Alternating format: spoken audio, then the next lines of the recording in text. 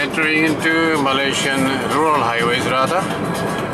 I can see some cyclists on the sideways or the, shoulders, but they have a separate road. They are not using that one. Sideways, sideways road uh, roads are there, but they are not using that one. Most like that's not that good condition. Flyovers are there,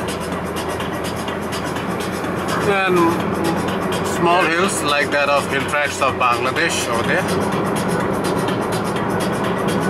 kind of uh, scenario can be found on the way to Rangamati or Ramgarh or Bandarban easily.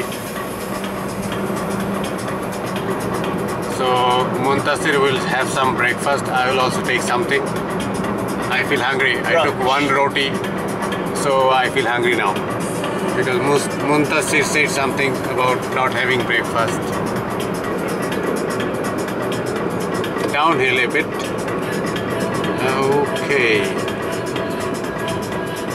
Salak Tinggi Tinggi. We come across red light. I'll finish it here.